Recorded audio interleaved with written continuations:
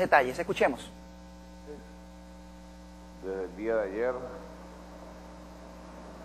el día de hoy, recibimos la llamada del gobierno de Honduras, que efectivamente está en su proceso de incorporación a Petrocaribe y tenemos ya una representante de Honduras que ha sido enviada directamente por el gobierno.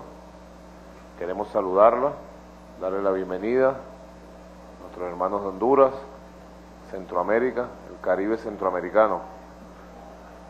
Y además queremos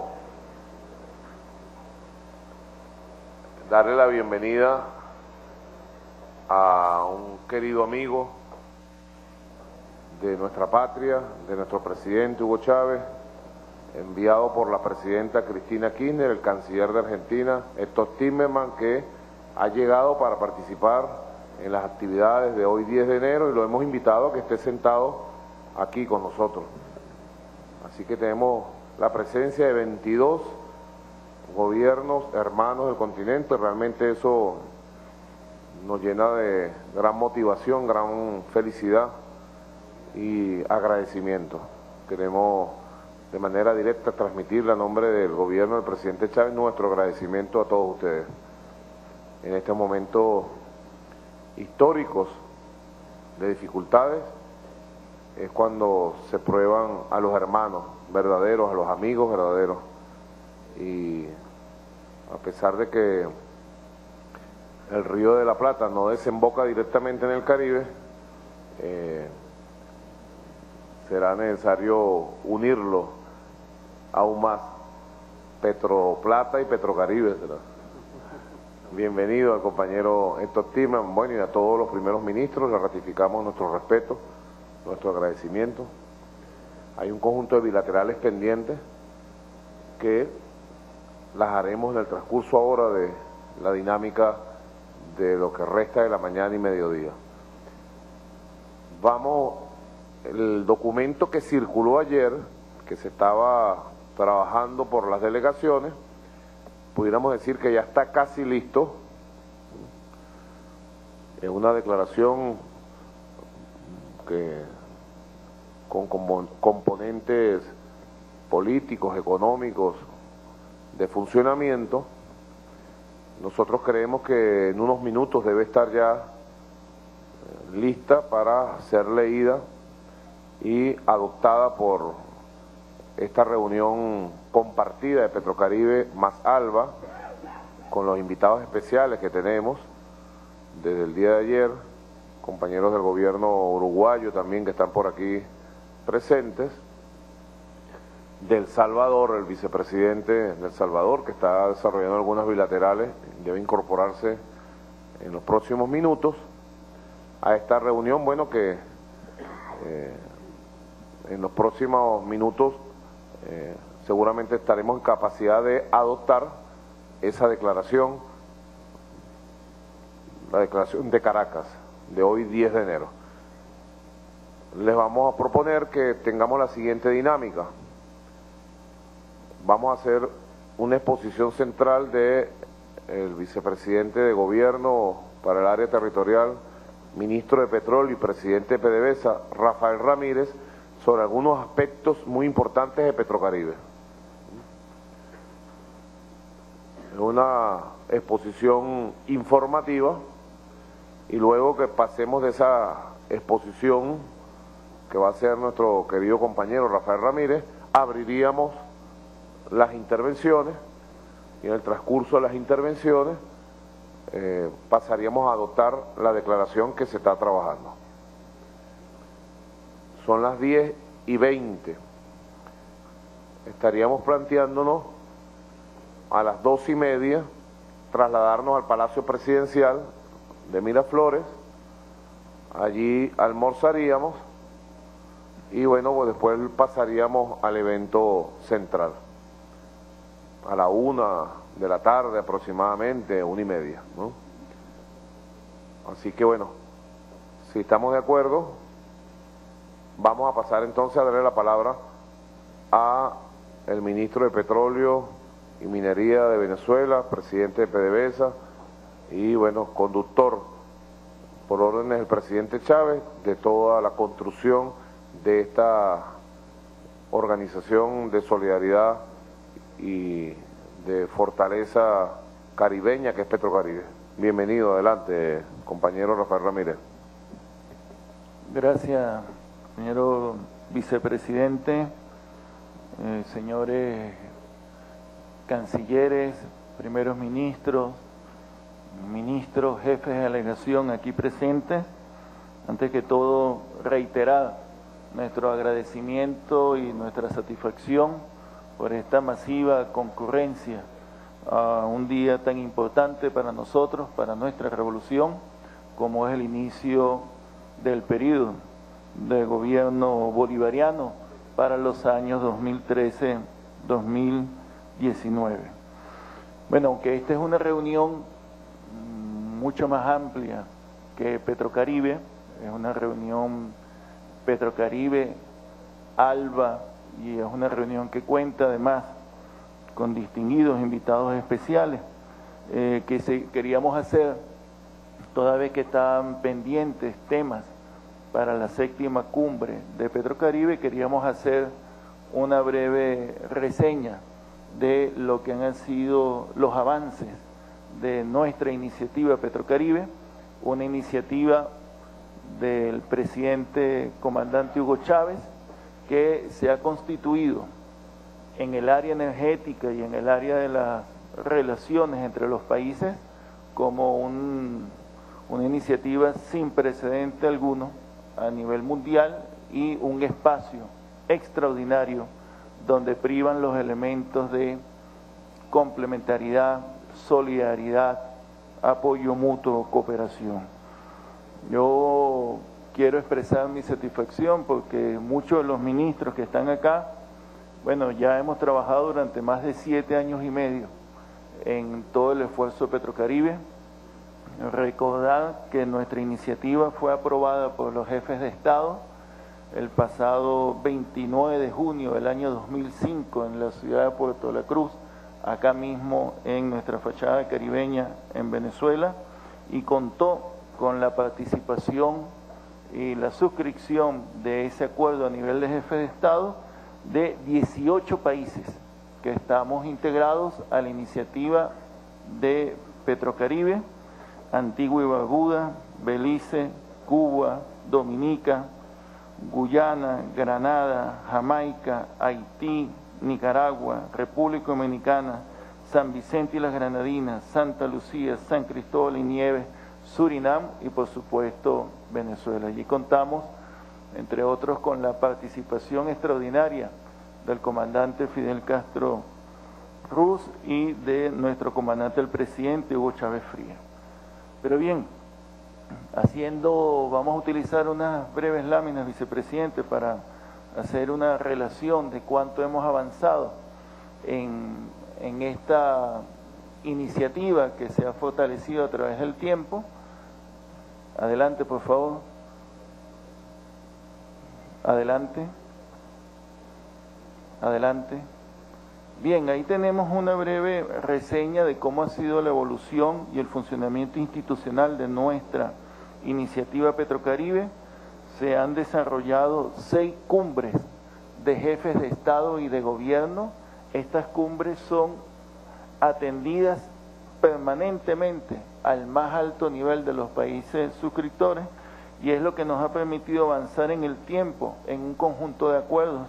En la primera cumbre se estableció el esquema de financiamiento de nuestra iniciativa que como saben busca eh, hacer importante, mm, un importante esquema de apoyo al financiamiento y desarrollo frente al comportamiento del mercado petrolero internacional.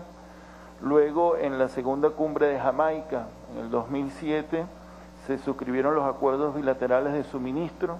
En la tercera cumbre de Caracas del 2007 se suscribió el Tratado de Seguridad Energética, se planteó y se iniciaron los estudios de matrices energéticas. La cuarta cumbre en Cuba se hicieron los grupos técnicos de Petrocaribe. En la quinta cumbre de Maracaibo se aprobó el Tratado de Seguridad Energética y se lanzó la iniciativa de Alba Alimentos y en la quinta, en la sexta cumbre, San Cristóbal y Nieve, se hablaron de las bases del Fondo Integrado de Cooperación que existe en Petrocaribe.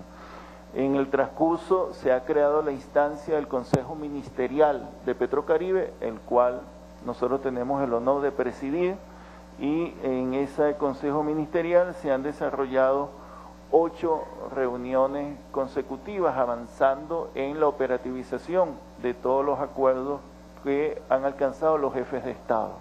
Adelante, por favor. Ya mencioné 18 países miembros suscriptores, está igualmente la incorporación de Guatemala a la iniciativa y eh, a petición de Honduras está nuevamente en consideración la incorporación de nuestro hermano país Honduras. Si vemos en algunos temas de avance, adelante por favor, se ha podido constituir en 10 países de Petrocaribe 12 empresas mixtas. Uno de los objetivos estratégicos que teníamos nosotros cuando iniciamos Petrocaribe era crear nuestras propias empresas estadales y 10 países han constituido con nuestra filial PDB Caribe, han constituido tres empresas mixtas. 10 de ellas son de hidrocarburos, una de ellas de petroquímica, una de ellas de transporte y una de alimentos. Quiere decir que nosotros avanzamos en un objetivo estratégico de Petrocaribe, que es tener soberanía en el manejo de nuestros recursos naturales y eh, autodeterminación en la determinación de nuestras propias necesidades. En torno a estas empresas mixtas eh, se mueven 3.623 trabajadores directos de las iniciativas de Petrocaribe. Adelante. En cuanto al tema del suministro, nosotros debemos decir que el suministro actual que hacemos a Petrocaribe y que se hace de manera conjunta satisface el 40% de las necesidades energéticas de los países suscriptores. Este es un tema muy importante porque ha permitido que los países miembros puedan, hayan podido manejar todo su equilibrio económico en momentos de importantes fluctuaciones del precio del petróleo. Esto sin lugar a duda se ha convertido en una característica esencial de nuestra iniciativa, que es garantizar la seguridad energética de los países suscriptores, y aquí vemos cómo a lo largo del tiempo ese suministro se ha venido consolidando e incrementando, 40% de las necesidades energéticas. Adelante. Eso nos ha permitido establecer en base al suministro energético una nueva forma de intercambio comercial, económico ha permitido crear mecanismos de compensaciones en cuanto a la factura petrolera con suministro de bienes y servicios provenientes de los países suscriptores. Este año, por ejemplo, tenemos un monto de 868 millones de dólares que se paga de la factura petrolera en bienes y servicios, sobre todo alimentos, en los cuales tenemos fortaleza en los países suscriptores y hemos identificado ya una oportunidad de 1.337 millones de dólares adicionales en, en intercambio de bienes y servicios por la factura petrolera.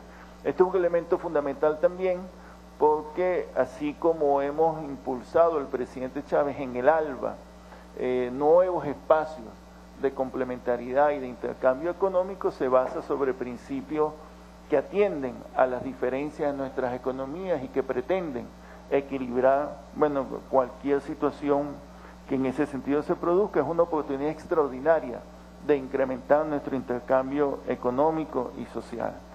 Hablando de los temas de los proyectos de infraestructura, nosotros, adelante por favor, hemos, tenemos, hemos desarrollado de conjunto proyectos para aumentar nuestra capacidad de refinación propia para la iniciativa de Petrocaribe, Ahora tenemos actualmente una capacidad instalada de 119 mil barriles días con nuestra participación en tres refinerías en operación, tanto en Cuba, eh, con la refinería Camilo Cienfuegos, Jamaica con Petroyan y República Dominicana con Refidonza, y el proyecto de aumentar en 450 mil barriles día nuestra capacidad en la región a través de la construcción de cuatro, cuatro nuevas refinerías. Adelante.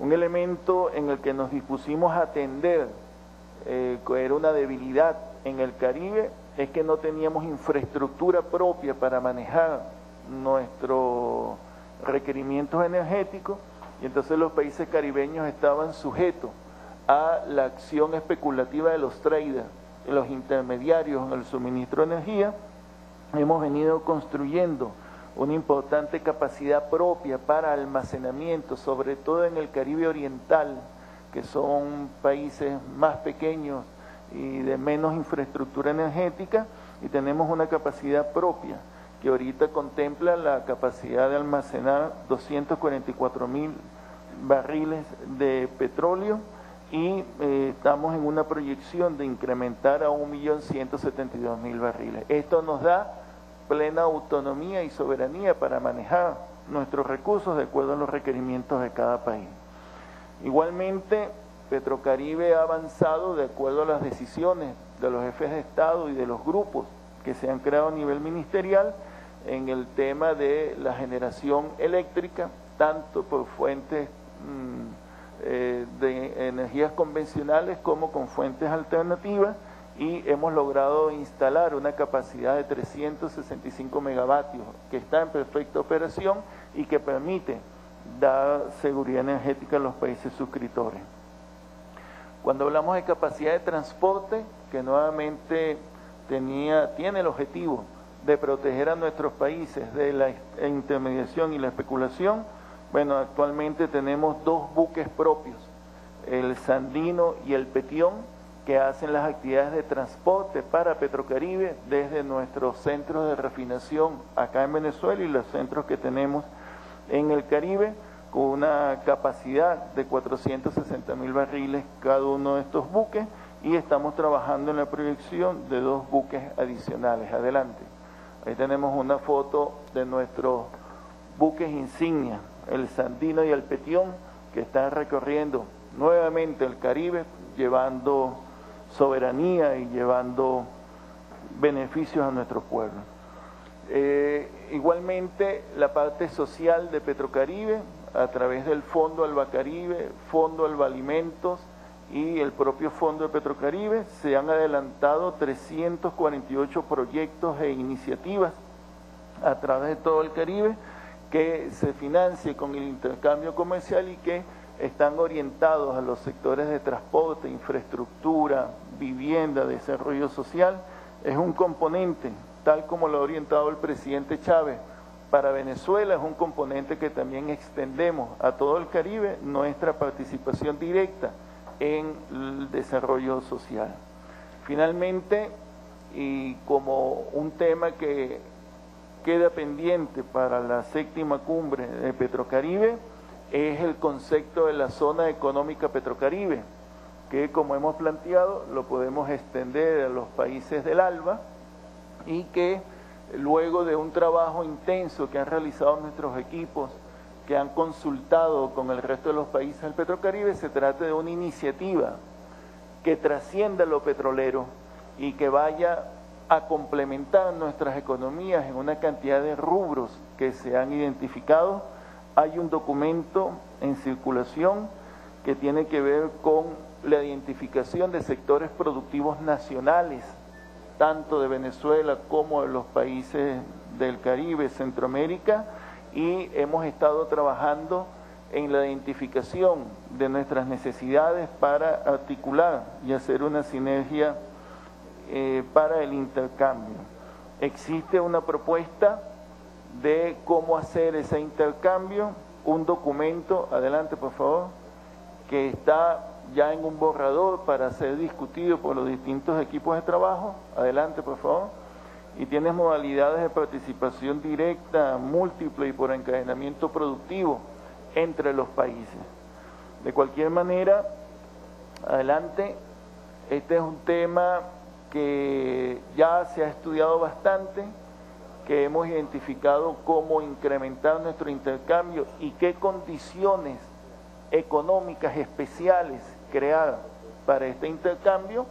Hemos revisado ampliamente los acuerdos suscritos previamente por todos los países para evitar algún tipo de conflicto con disposiciones previas, pero es un tema que hay que someter a los jefes de Estado y de Gobierno y finalmente proponemos, proponemos que de esta reunión se pueda acordar la creación de un grupo de trabajo especial coordinado por la Secretaría de Petrocaribe que someta a consulta y pueda llevar en un plazo de tres meses ya una propuesta para su aprobación de la creación de la zona económica Petrocaribe que puede perfectamente ampliarse al ALBA y entonces darle a nuestra iniciativa de integración energética un alcance mucho más integral y mucho más allá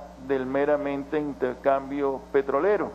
Entonces quisiéramos, vicepresidente, hemos trabajado con el resto de las delegaciones, eh, que pudiésemos someter ese documento de creación de la zona económica Petrocaribe a una consulta, consultas bilaterales, para luego tenerlo como un elemento de avance estratégico para ser aprobado en la próxima cumbre de jefes de Estado. Igualmente, para la próxima cumbre tenemos listo el documento de, eh, que se instruyó para suministro de fertilizantes en el marco de la iniciativa de el ALBA Alimentos.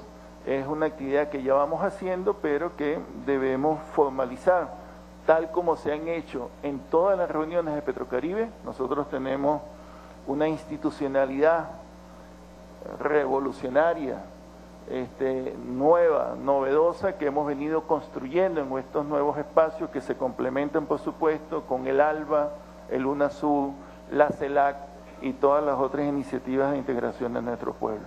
Muchas gracias, señor vicepresidente. Muchas gracias, compañero.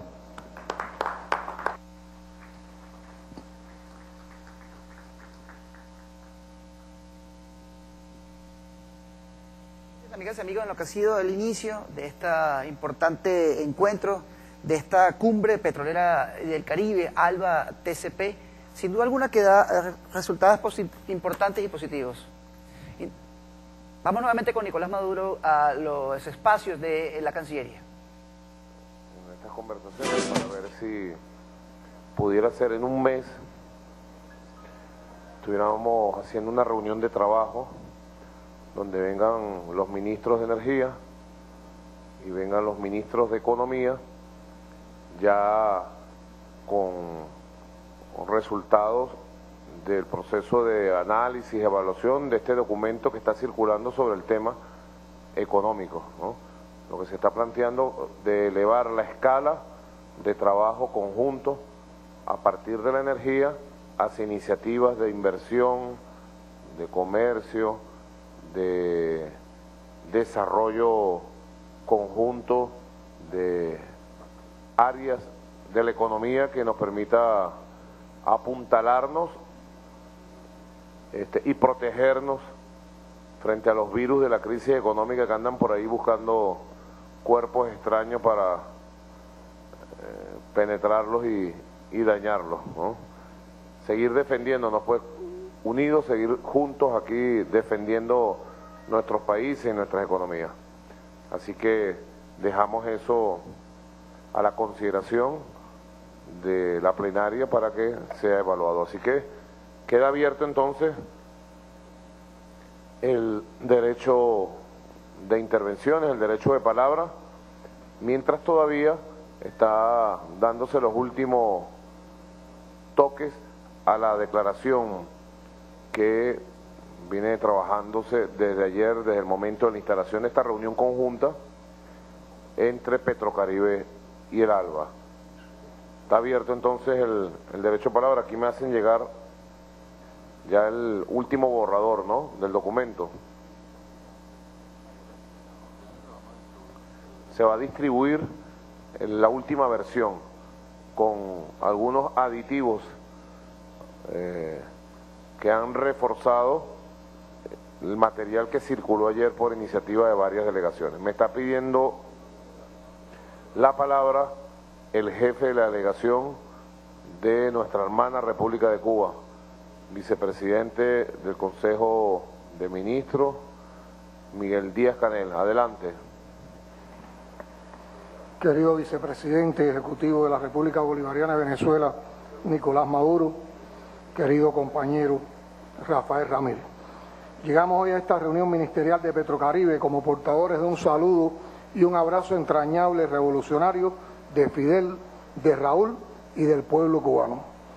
Agradecemos al gobierno de la República Bolivariana de Venezuela por brindarle a Cuba la oportunidad de estar presente en esta reunión de reafirmación de sus principales mecanismos de solidaridad en un momento trascendental de confirmación de la voluntad del pueblo y el gobierno venezolano de mantener su soberanía en defensa de los principios de la revolución. Manifestamos el apoyo de Cuba a la vigencia de este mecanismo de solidaridad energética que no es un mero acuerdo de suministro, es una iniciativa política encabezada por el gobierno de la República Bolivariana de Venezuela que junto al ALBA constituyen los principales mecanismos de integración de nuevo tipo de nuestro continente basados en los principios de solidaridad, complementariedad y cooperación desinteresada. En estos más de siete años de funcionamiento de Petrocaribe, coincidentes con la crisis económica, alimentaria y energética a nivel mundial, con altos precios de los combustibles, este mecanismo solidario extendido por la hermana Venezuela ha permitido contrarrestar los efectos de esta situación, permitiendo a los países beneficiados del Caribe y Centroamérica dedicar recursos a sus programas nacionales de desarrollo y con el propósito de resolver las asimetrías en el acceso a los recursos energéticos. El Fondo Alba Caribe, creado por Petrocaribe, ha permitido fomentar una infraestructura de almacenamiento y transportación como nuevas capacidades que facilitan el manejo de las disponibilidades de combustible por los países beneficiados. De igual forma, se han desarrollado por este fondo proyectos de impacto social y económico para el beneficio de nuestros pueblos. Petrocaribe asume los más puros ideales de Bolívar y de nuestros próceres, la independencia, la soberanía, la dignidad, la solidaridad, la unidad, la amistad y el amor. Por lo tanto, hoy aquí ratificamos la confianza en este proyecto integracionista. Apoyamos este acto de reafirmación de la vigencia del mismo y además expresamos nuestra solidaridad y apoyo a Venezuela, a su pueblo, su revolución y sus líderes como artífice de este esquema que es también una obra de amor y dignidad. Así hemos andado y andaremos como nos pidió Martí en cuadro apretado como la plata en las raíces de los Andes. Presentes están aquí la idea, la voluntad, el pensamiento solidario, integracionista, internacionalista del comandante de la Revolución Bolivariana, Hugo Chávez. En ese sentido, consideramos relevante mantener la prioridad que Venezuela y Cuba, como países miembros del ALBA y Petrocaribe, hemos venido dando los problemas económicos y sociales de la hermana República de Haití, cuya situación ya compleja se agudizó en años recientes como consecuencia del impacto de varios fenómenos naturales. Continuaremos trabajando en Haití de conjunto, de acuerdo con las prioridades que su gobierno y pueblo nos soliciten. Apoyamos las propuestas presentadas en la mañana hoy por el compañero Rafael Ramírez.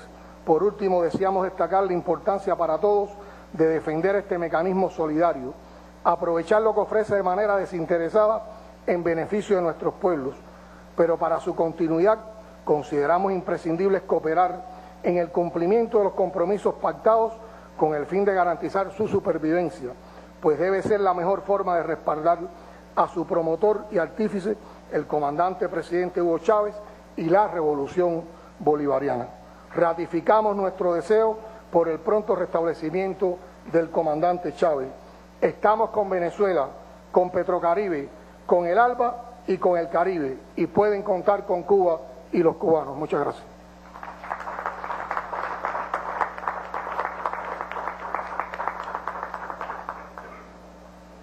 Muchas gracias nuestro querido compañero Miguel Díaz Canel, a toda la delegación de Cuba por estas hermosas palabras que han transmitido a, esta reunión especial, extraordinaria, primera reunión compartida, sobre todo en este momento histórico de,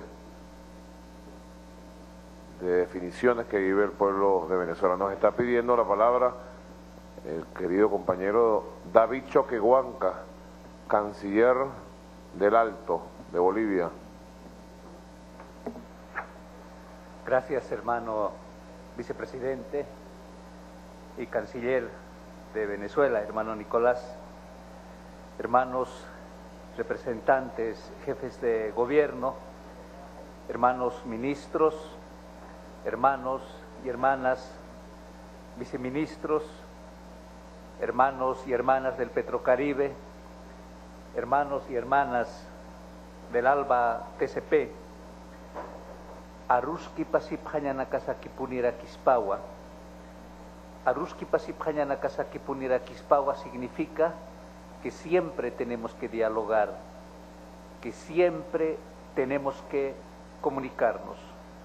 Por ello, quiero agradecer a nuestro hermano Nicolás, al gobierno de Venezuela, al pueblo de Venezuela, por ofrecernos este espacio para practicar este Aruski Pasiphañana Kasakipunera Kispawa. Siempre tenemos que comunicarnos, siempre tenemos que dialogar. Son principios que se han resistido durante 500 años, principios, valores que practicamos los pueblos indígenas para garantizar el equilibrio, para garantizar la armonía de nuestros pueblos. Estos principios poco a poco estamos recuperando. Otro de los principios que tenemos que recuperar en estos espacios de integración es la tumpa. La tumpa significa control obligado que tiene que existir entre todos nosotros. Y otro principio que se ha, que se ha resistido también durante 500 años es la tama la Tama igual gran familia. Nosotros somos parte de una gran familia. Pertenecemos a una gran familia. Esa gran familia han tratado de dividir, han tratado de destrozar el colonialismo. Hoy estamos en tiempos de recuperación de estos códigos, de estos valores que se han resistido al colonialismo interno y externo. Y en estos tiempos de crisis global del capitalismo, consideramos que es tiempo de recuperar estos valores, estos códigos, estos principios que nos van a permitir construir una verdadera integración, que nos van a permitir volver a esa gran familia, despertar nuevamente esta energía comunal. Por eso decimos nosotros que estamos en tiempos de construir la unidad, ya no más divisiones de nuestros pueblos. Estamos en tiempos de recuperar la confianza, estamos en tiempos de construir la hermandad, de recuperar los sueños de nuestros antepasados, de nuestros líderes, y de manera conjunta construir la esperanza. Estamos en tiempos de consolidar cada día los lazos de solidaridad y hermandad entre nuestros gobiernos, entre nuestros pueblos. Por eso estamos aquí. Estamos aquí para expresar nuestra total solidaridad, nuestro respeto, nuestra admiración a la revolución bolivariana Estamos aquí para dar nuestro apoyo y respaldar la institucionalidad democrática que se construye en Venezuela. También estamos aquí para dar nuestro apoyo al pueblo de Venezuela, al gobierno, a su presidente Hugo Chávez. Queremos decirles al pueblo de Venezuela, a los ministros, a sus instituciones democráticas, que no están solos, somos parte de una gran familia, estamos recuperando ya estos valores, estos principios, somos parte de una gran familia y estamos pendientes de todo lo que pasa en, en Venezuela, en nuestros pueblos. También, Nicolás, queremos compartir todas estas energías de nuestros pueblos que nos hemos reunido el 21 de diciembre en la Isla del Sol.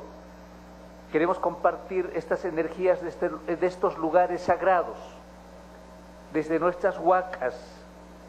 Queremos compartir esas energías de nuestros yatiris, quienes hemos meditado, nos hemos concentrado, hemos ayunado muchos de nosotros para que nuestro presidente Hugo Chávez se pueda recu recuperar lo más antes posible. Queremos compartir esas energías de todos los pueblos que han llegado desde diversos lugares del mundo a la Isla del Sol,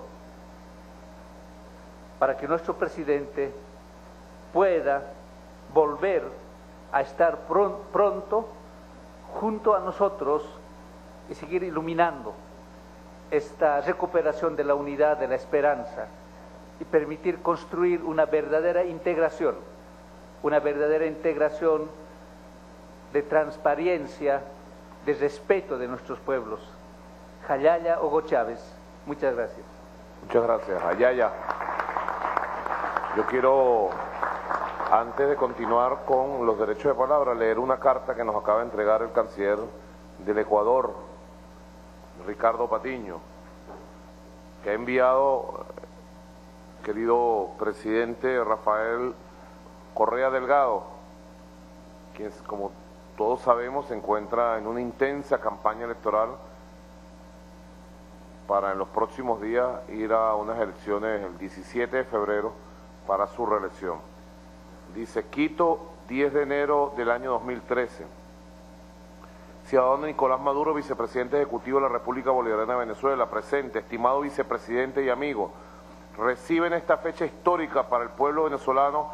Un abrazo fraterno y solidario de parte del pueblo ecuatoriano y su gobierno nacional.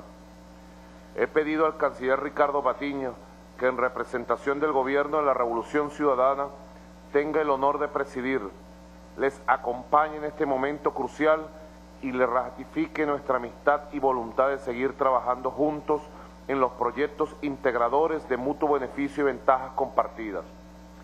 Mucho apreciaré transmitir al presidente Hugo Chávez Frías toda nuestra solidaridad y apoyo en este nuevo mandato que se deriva de la voluntad soberana del pueblo venezolano, en el respeto absoluto a la decisión democrática expresada de manera claramente mayoritaria e impecable en las pasadas elecciones presidenciales del 7 de octubre.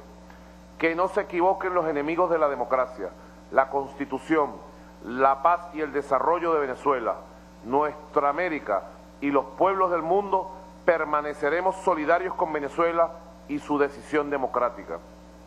El proceso político en curso en América Latina debe continuar y debe cobrar cada vez más fuerza.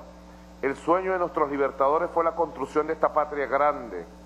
Y la patria grande necesita el aporte y la fuerza del pueblo bolivariano de Venezuela, de su gobierno democrático y del presidente Hugo Chávez.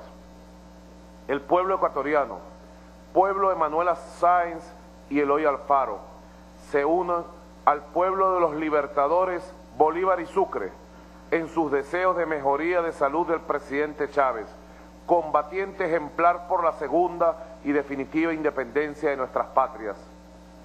Juntos hemos avanzado en la consolidación de la Alianza Bolivariana para los pueblos de nuestra América Alba, de la Unión de Naciones Suramericanas UNASUR y de la Comunidad de Estados Latinoamericanos y Caribeños CELAC. Juntos seguiremos trabajando por la integración de América Latina, por el desarrollo de nuestros pueblos y por el buen vivir de toda nuestra región. Nosotros, al igual, al igual que muchos mandatarios de nuestra América, damos ánimo al comandante Chávez, porque él nos da ánimo a todos nosotros con su espíritu de lucha su enorme energía y su vida ejemplar. Hasta la victoria siempre, Rafael Correa Delgado, presidente constitucional de la República de Ecuador. Muchas gracias. A el presidente Rafael Correa por esta expresión tan solidaria y contundente que recibe desde el corazón nuestro pueblo, que está hoy en las calles en apoyo a la democracia del presidente Chávez. Queremos darle la bienvenida, está llegando, luego de reponerse de situación de salud pasajera, el primer ministro de la Mancomunidad de Dominica, nuestro amigo y compañero Rubén Esquerri, bienvenido.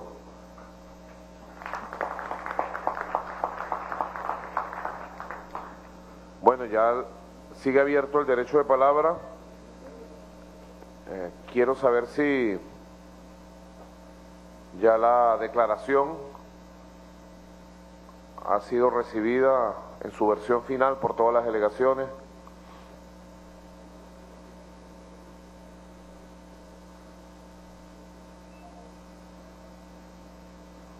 Ciertamente la tienen ya todas las delegaciones. Yo voy a proceder a leer la declaración de esta reunión extraordinaria y a proceder a adoptarla. Declaración política de la reunión ministerial extraordinaria Petrocaribe Alba. Tenemos que decir Petrocaribe Alba que lo formamos 18 países y tenemos presentes aquí además a los compañeros del Salvador, Honduras, Uruguay y del gobierno hermano de Argentina. Somos 22 países que estamos compartiendo este momento, como decía el canciller Choquehuanca, siempre con la profundidad quechua y aymara de sus reflexiones, este momento de diálogo entre hermanos. Declaración política de la reunión ministerial extraordinaria Petrocaribe Alba. Los gobiernos de Antigua Barbuda, Belice, Bolivia, Cuba, Dominica, Ecuador, Granada, Guatemala, Guyana, Haití, Jamaica, Nicaragua, República Dominicana, San Cristóbal y Nieves, San Vicente y las Granadinas, Santa Lucía, Surinam y Venezuela, nos hemos congregado al más alto nivel en la ciudad de Caracas, República Bolivariana de Venezuela, el 9 de enero del 2013, y el 10 de enero del 2013, en ocasión de la reunión ministerial extraordinaria Petrocaribe Alba, en solidaridad con el presidente Hugo Chávez, donde hemos suscrito la presente declaración política mediante la cual expresamos la plena vigencia del nuevo espacio político, económico, social y cultural que conforman Petrocaribe y el ALBA, surgido como iniciativa del presidente de la República Bolivariana de Venezuela, comandante Hugo Chávez, y que constituye un aporte fundamental de la Revolución Bolivariana a la consolidación de la Unión y la integración regional. Ratificamos nuestra total y absoluta solidaridad con el presidente de la República Bolivariana de Venezuela, comandante Hugo Chávez, quien se encuentra librando una importante batalla por su salud en nuestra hermana República de Cuba nos sumamos a las innumerables manifestaciones de fe y espiritualidad que se han producido a través del mundo y elevamos nuestras plegarias por el total restablecimiento del presidente Hugo Chávez y su, su pronto retorno a Venezuela, patria del libertador Simón Bolívar. Reiteramos nuestra felicitación al comandante Hugo Chávez por su victoria en los comicios del 7 de octubre del año 2012, al cabo de los cuales resultó electo presidente de la República de Venezuela para el sexenio que se inicia el 10 de enero del 2013, con una amplia mayoría del voto popular libremente expresado. Hacemos extensiva esta felicitación al pueblo venezolano por la impresionante demostración de compromiso democrático y espíritu cívico que significó su masiva participación en las elecciones presidenciales del 7 de octubre del 2012, lo cual constituyó un récord en la historia republicana venezolana. Manifestamos nuestra confianza absoluta en el gobierno de la República Bolivariana de Venezuela y en las instituciones democráticas de este hermano país y acompañamos plenamente las disposiciones que se han tomado en el marco de la Constitución de la República Bolivariana de Venezuela con el fin de que la voluntad democrática expresada por el pueblo venezolano sea celosamente respetada. Afirmamos que acompañaremos al pueblo venezolano y a su gobierno bolivariano desde los espacios internacionales y con estricto respeto a la soberanía de la República Bolivariana de Venezuela en su empeño por impedir que la situación del presidente Hugo Chávez en su salud sea pretexto para atentar contra las instituciones democráticas venezolanas, desestabilizar a ese hermano país y fomentar el intervencionismo en asuntos sobre los que el pueblo venezolano ha expresado claramente su voluntad.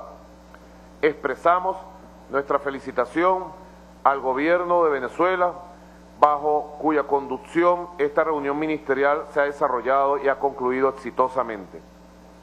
Por último, instamos a respetar la decisión del Tribunal Supremo de Justicia de la República Bolivariana de Venezuela, institución que tiene la competencia y el poder de interpretar las disposiciones de la Constitución, en la cual se afirma la supremacía del Estado de Derecho y se dictamina que nada debe torcer la voluntad del pueblo, abrumadoramente expresada en las elecciones presidenciales del 7 de octubre del 2012.